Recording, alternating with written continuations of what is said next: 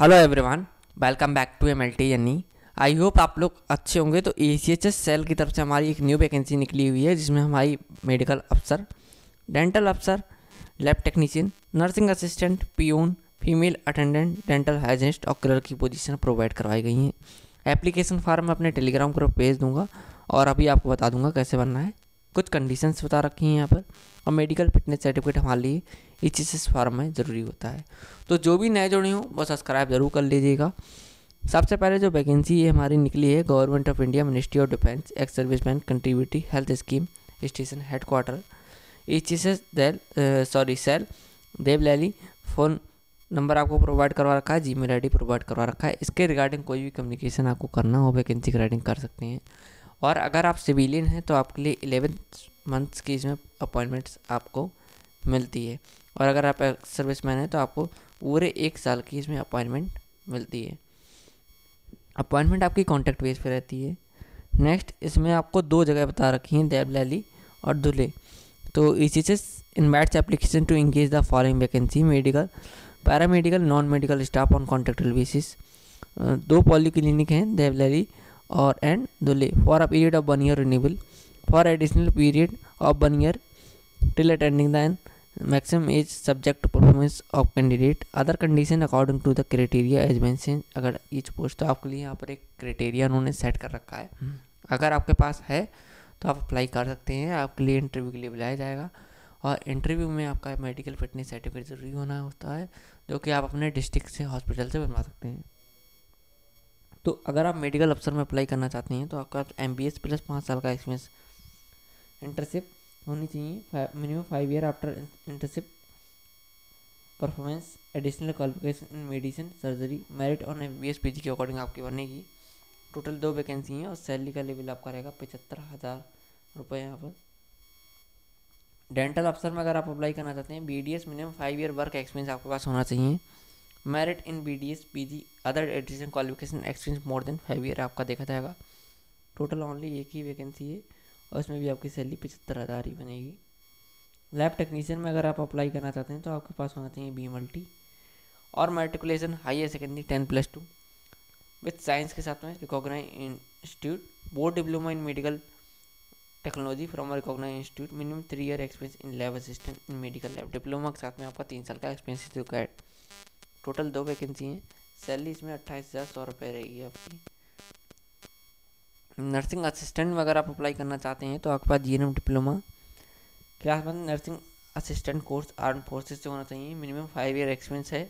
Any diploma courses से अगर आपके पास स्पेशलिस्टी नर्सिंग का, और एक्सपीरियंस है आपके पास दस साल का तो आप अप्लाई कर सकते हैं। ओनली एक वैकेंसी है, अट्ठाईस हज़ार सौ रुपये आपको सैलरी मिलेगी। पीओन की वैकेंसी है इसमें तो education class G D trade arm force हैं आप। Minimum five year experience in more than ten year experience more than ten year है, आपके पास तो अप्लाई कर सकते हैं। ओनली वन वैकेंसी रहेगी और सोलह हज़ार आठ सौ आपको सैलरी इसमें पर मंथ मिलेगी।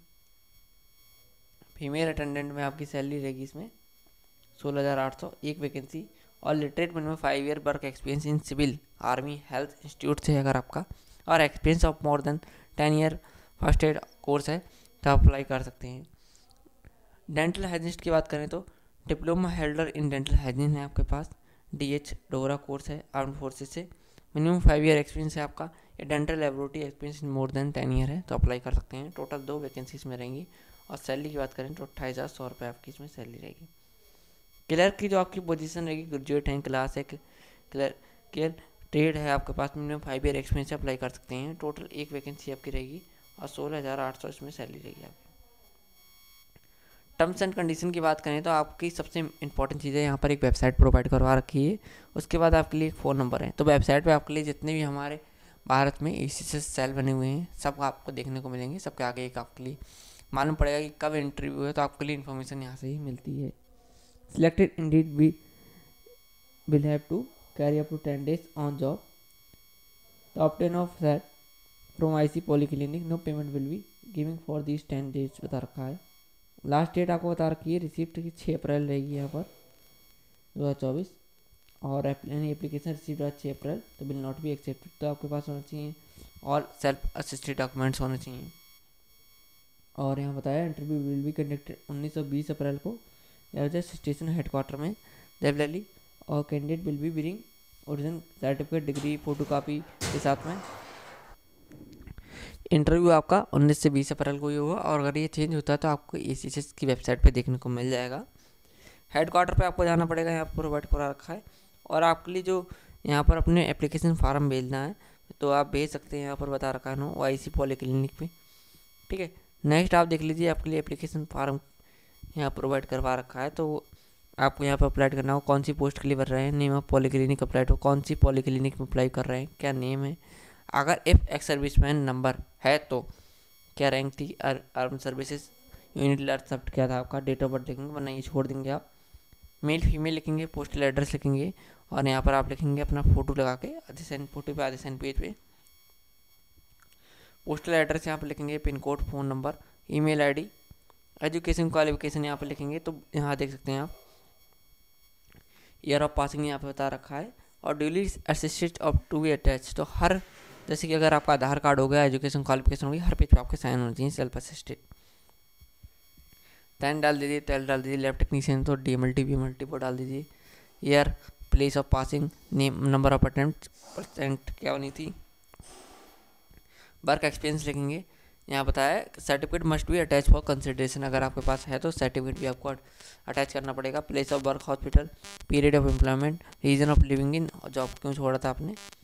और यहाँ बताया registration number and date of registration Indian state medical council photo copy of registration to be attach M वालों के लिए। और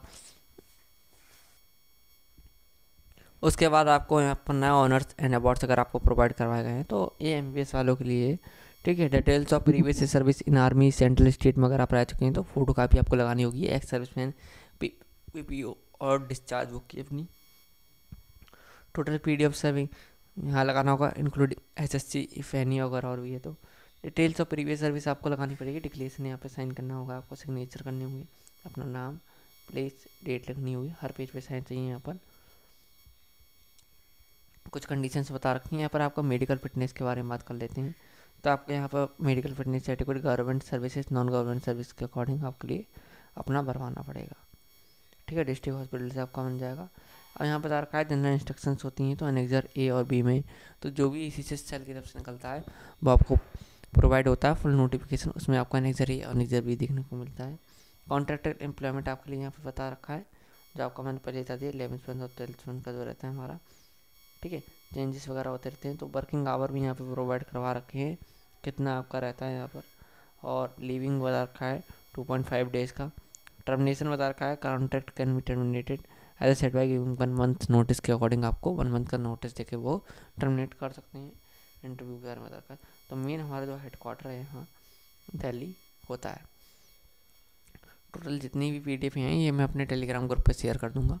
और इसी चीज़ की जितनी भी हमारी वैकेंसी निकलती रहती हैं, हम उसके बारे में बताते रहते हैं। जो भी नए जुड़े हों सब्सक्राइब कर लेना। और सब्सक्राइब करके हमारा चैनल लाइक भी कर देना इस वीडियो को। हम ऐसी मोर अबाउट अपडेट देते रहते हैं। Thank you